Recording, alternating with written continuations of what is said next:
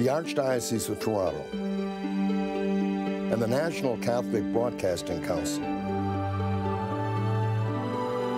Through the kind cooperation of the Toronto Catholic District School Board, presents Sunday TV Mass.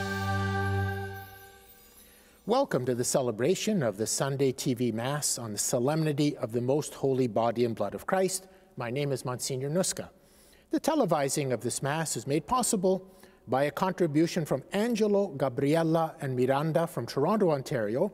This Mass is offered in loving memory of their mother, Marianina.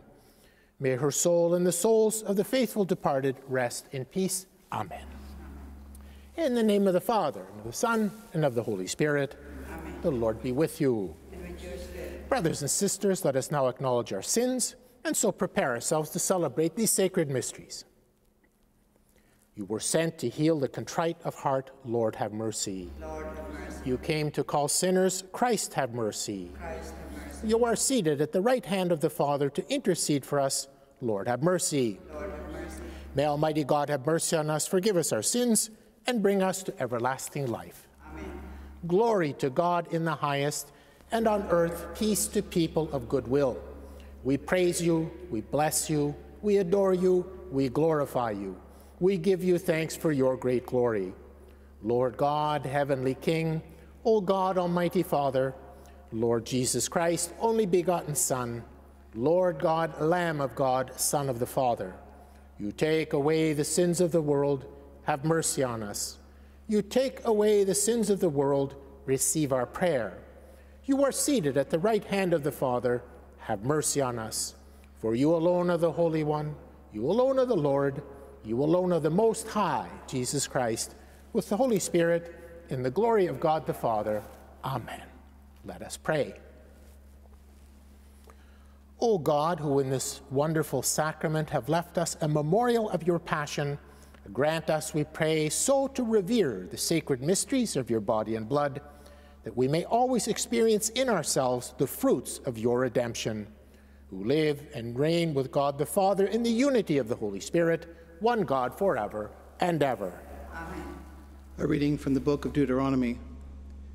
Moses spoke to the people Remember the long way that the Lord your God has led you these 40 years in the wilderness, in order to humble you, testing you to know what was in your heart whether or not you would keep his commandments.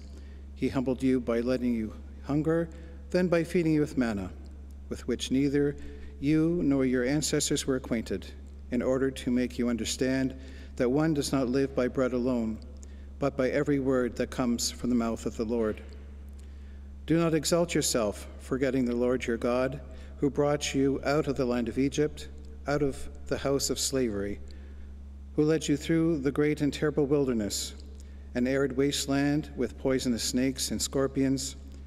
He made water flow for you from flint rock and fed you in the wilderness with manna that your ancestors did not know, to humble and to test you, and in the end to do you good. The word of the Lord. Thanks be to God.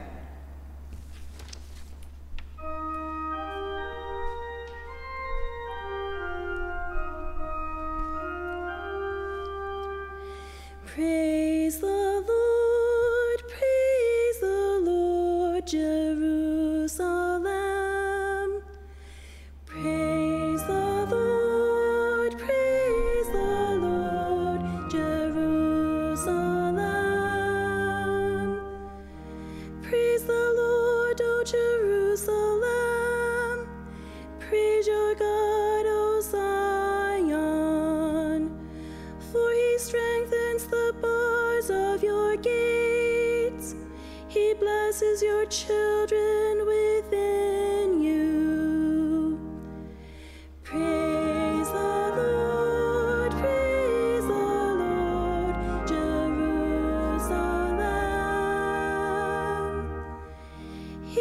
Grants peace within your borders.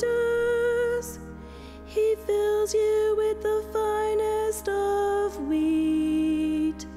He sends out his commandment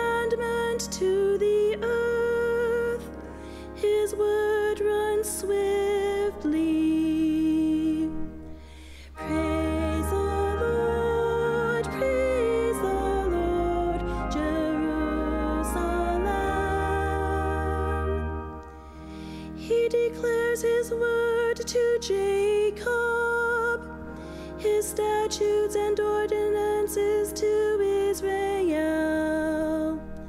He has not dealt thus with any other nation. They do not know his ordinances.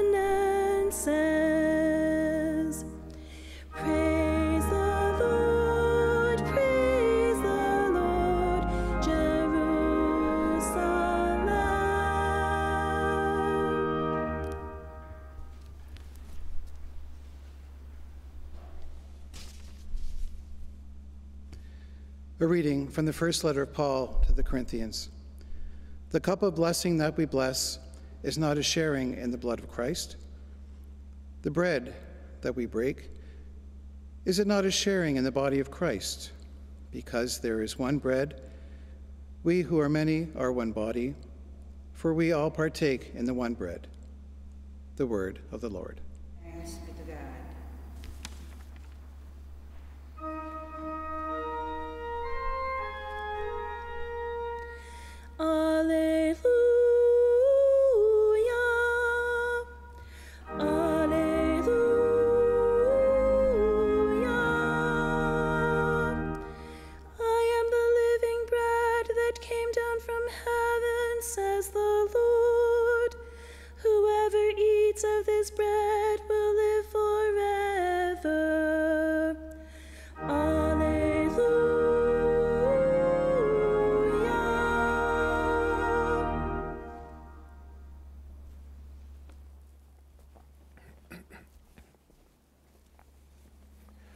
Lord be with you.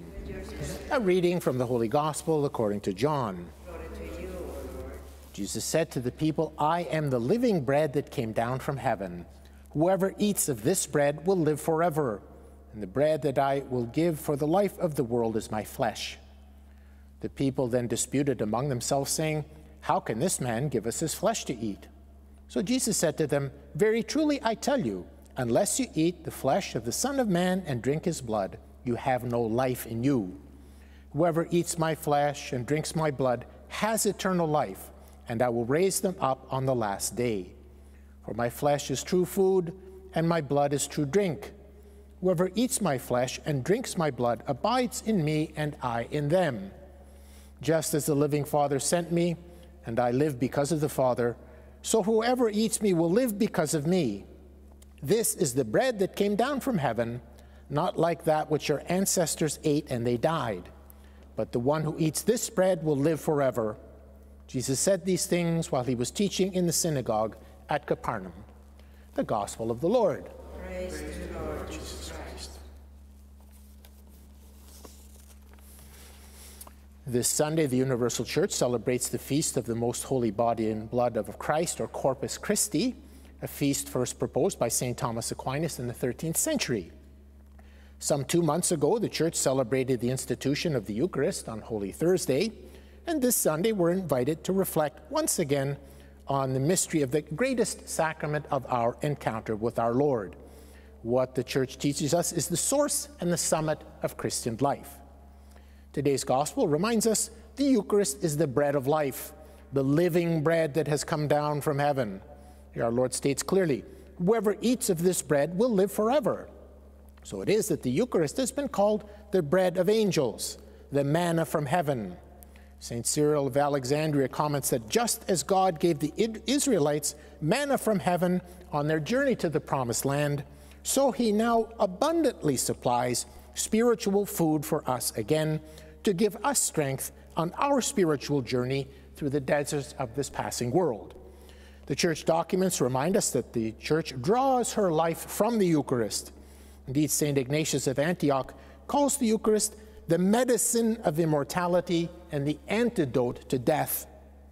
Here, the teachings of the church remind us that the Eucharist is truly a glimpse of heaven appearing on earth. It has been called a glorious ray of the heavenly Jerusalem, which pierces the clouds of our history and lights up our journey. At the Last Supper, Jesus takes bread, blesses it, breaks it, and gives it to his disciples.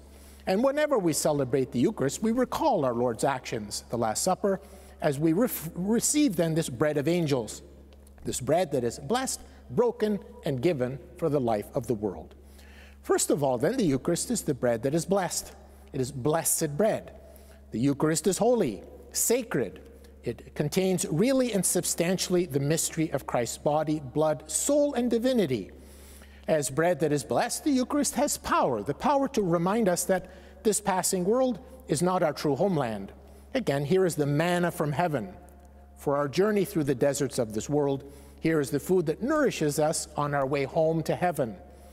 Concerning the great spiritual power of this bread that is blessed, St. Maximilian Kolbe comments that the Mass, when celebrated well, can renew an entire diocese. Elsewhere, he states, one communion alone can make us saints, can effect the conversion of many people, but all depends on our interior dispositions, on our preparation. So the Eucharist is bread that is blessed, and we need to prepare for our encounter with the Lord in the sacrament. The saints also remind us of the importance of devotion to the Eucharist. Here, St. Alphonsus of Liguori says that of all devotions, that of adoring Jesus in the Blessed Sacrament is the greatest after the sacraments, the one dearest to God and the one most helpful to us. St. Teresa of Calcutta expresses the wish that people would devote some time to Eucharistic adoration.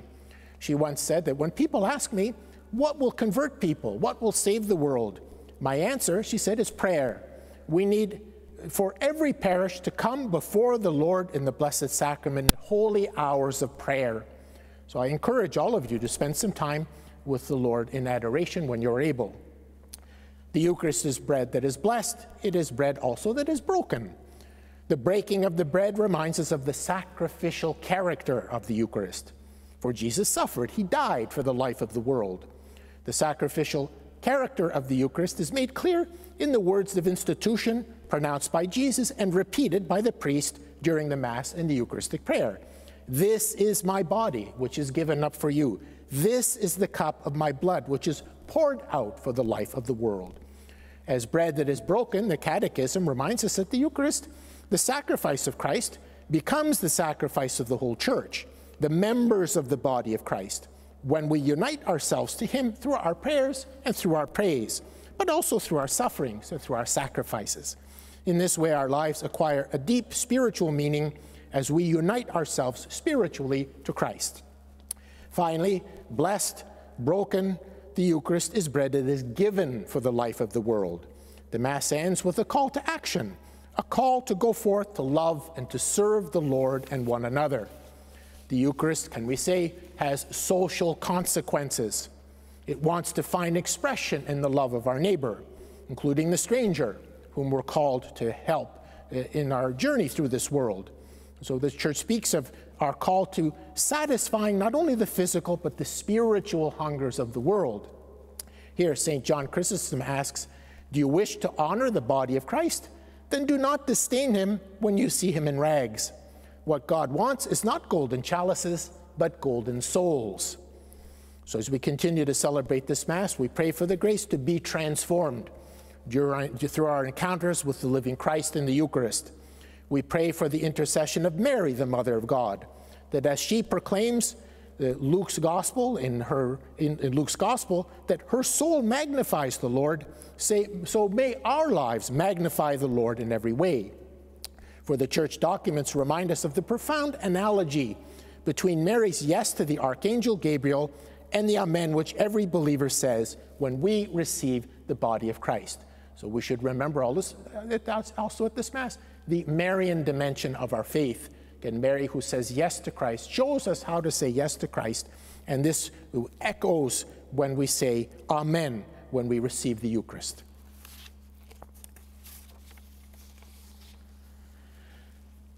Let us now pray together the Apostles' Creed. I believe in God, the Father Almighty, creator of heaven and earth, and in Jesus Christ, his only Son, our Lord, who was conceived by the Holy Spirit, born of the Virgin Mary, suffered under Pontius Pilate, was crucified, died, and was buried. He descended into hell. On the third day, he rose again from the dead. He ascended into heaven and is seated at the right hand of God, the Father Almighty. From there he will come to judge the living and the dead. I believe in the Holy Spirit, the Holy Catholic Church, the communion of saints, the forgiveness of sins, the resurrection of the body, and life everlasting. Amen.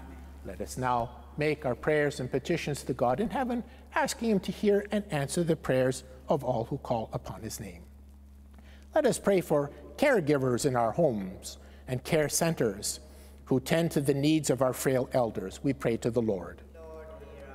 For all those in the daily TV Mass community who have asked to be included in our prayer intentions book, especially those who may be facing significant transitions in their activities, health relationships, or finances, we pray to the Lord.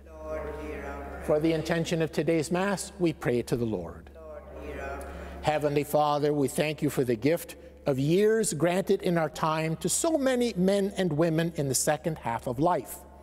We thank you for their presence in our community, for their life experience, for their courage, wisdom, and witness of faith. We ask your blessing upon them as they live the many transitions that are part of maturing years. Keep them in your care, grant them peace, and enable them to become beacons of hope in our world. We ask all this through your Son, our Lord Jesus Christ, who lives and reigns with you in the unity of the Holy Spirit, one God forever and ever.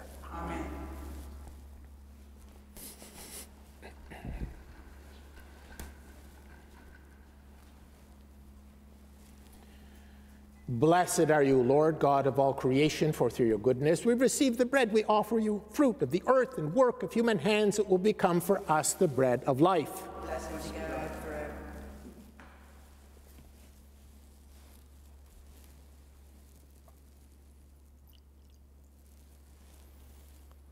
why we come to share and divinity of Christ who humbled himself to share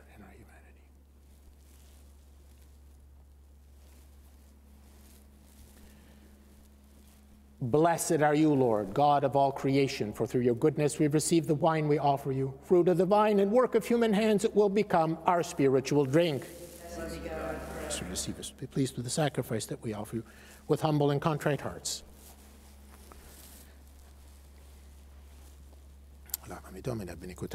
Peccato mea,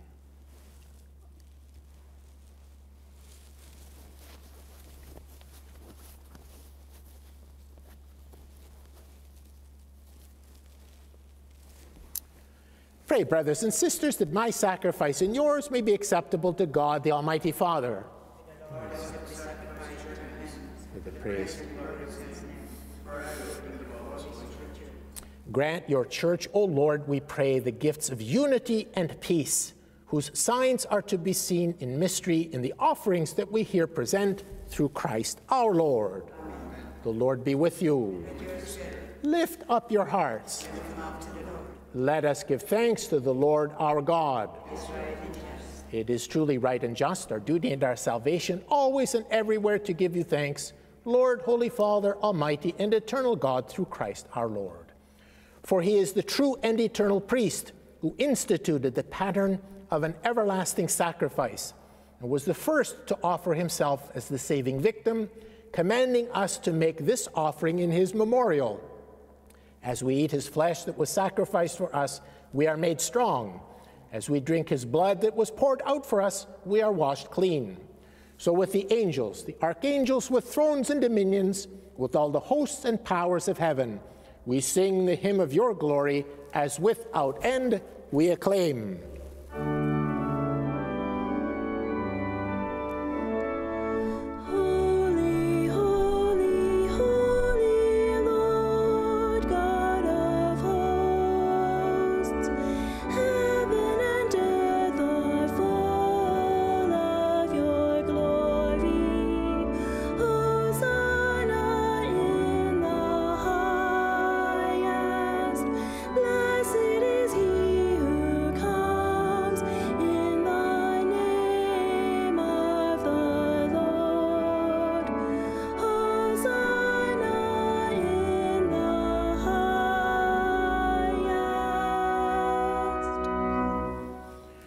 Are indeed holy, O Lord, and all you have created rightly gives you praise, for through your Son, our Lord Jesus Christ, by the power and working of the Holy Spirit, you give life to all things and make them holy.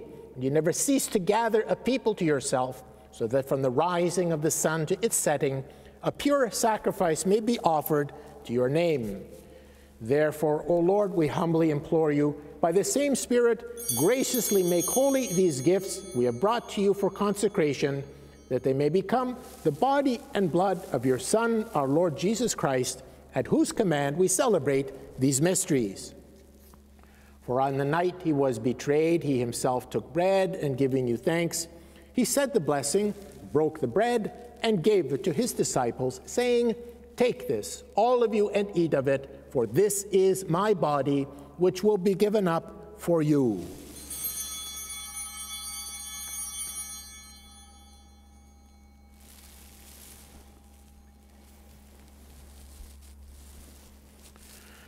In a similar way, when supper was ended, he took the chalice, and giving you thanks, he said the blessing, and gave the chalice to his disciples, saying, Take this, all of you, and drink from it, for this is the chalice of my blood, the blood of the new and eternal covenant, which will be poured out for you and for many for the forgiveness of sins. Do this in memory of me.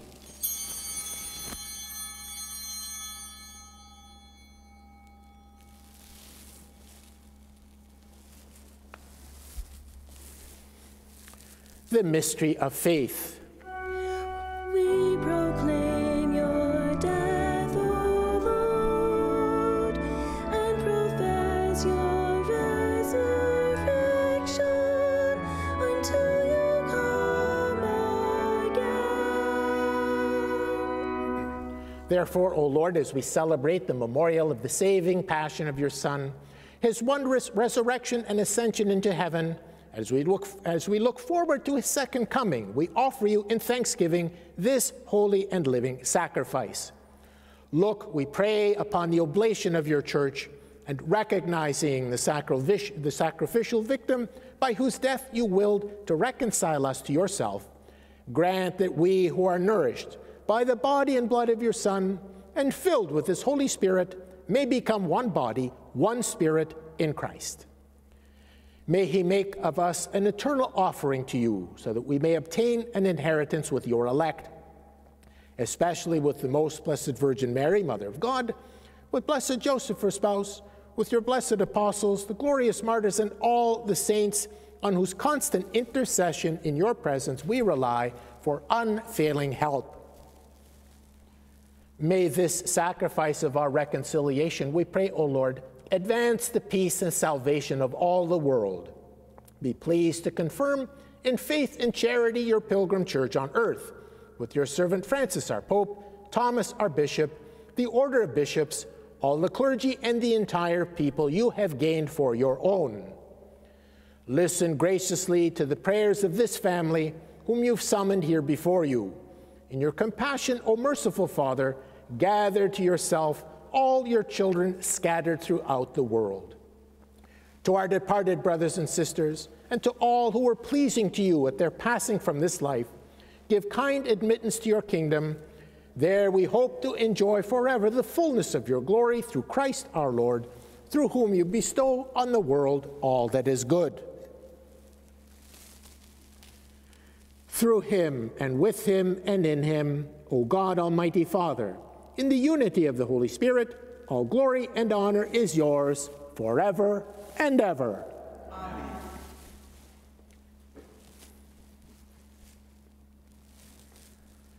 At the Savior's command, informed by divine teaching, we dare to say, Our Father, who art in heaven, hallowed be thy name. Thy kingdom come, thy will be done, on earth as it is in heaven. Give us this day our daily bread and forgive us our trespasses, as we forgive those who trespass against us. And lead us not into temptation, but deliver us from evil. Deliver us, Lord, we pray, from every evil. Graciously grant peace in our days, that by the help of your mercy we may be always free from sin and safe from all distress, as we await the blessed hope and the coming of our Savior Jesus Christ. Lord Jesus Christ, who said to your apostles, Peace I leave you, my peace I give you. Look not on our sins, but on the faith of your church, and graciously grant her peace and unity in accordance with your will, who live and reign forever and ever. Amen. The peace of the Lord be with you always.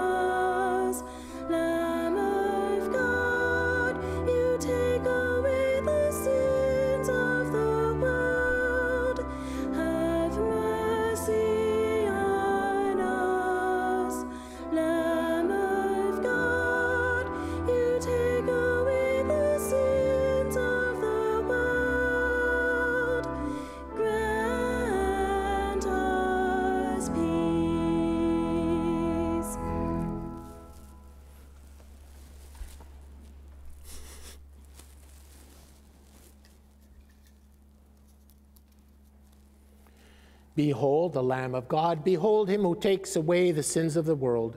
Blessed are those called to the supper of the Lamb.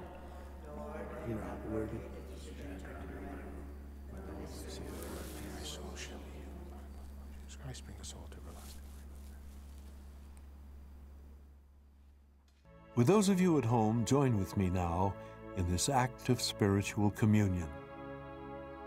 My Jesus, I believe that you are present in the Blessed Sacrament. I love you above all things, and I desire you in my soul. Since I cannot now receive you sacramentally, come at least spiritually into my heart. As though you were already there, I embrace you and unite myself wholly to you. Permit not that I should ever be separated from you. Amen.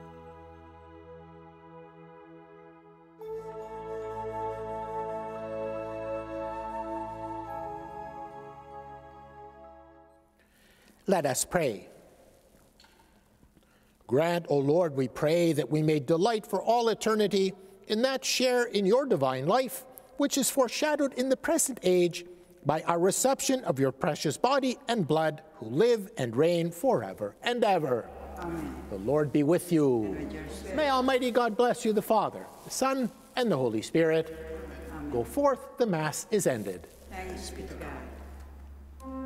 Our thanks to our donors for the gift of this Mass.